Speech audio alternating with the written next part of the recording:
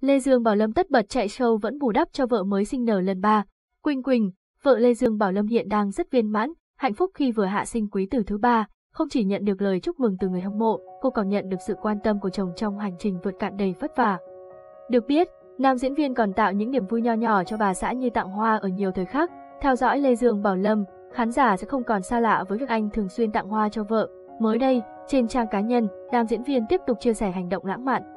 Nhưng lần này, anh có một dòng chia sẻ hóm hình, vợ người ta nhiều khi chồng không bao giờ tặng bông, còn vợ em sơ hở là được tặng, vợ ra viện lật đật tặng chúc mừng mà thái độ vậy á.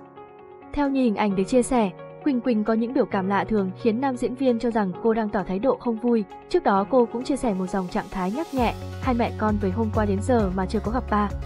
Mấy lần trước Hoa rồi qua, lần này sao không thấy ba nói gì, Hoa hai mẹ con em đâu. Sự tung hứng của hai người cho thấy thực chất đó chỉ là biểu cảm hóm hình của vợ Lê Dương Bảo Lâm để chọc kẹo anh. Chẳng những thế, bà xã Lê Dương Bảo Lâm vốn là người rất tiết kiệm.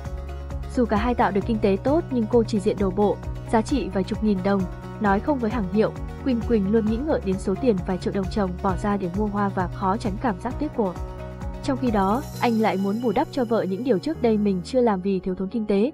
Cùng theo dõi Netbeat để cập nhật những tin tức mới nhất nhé!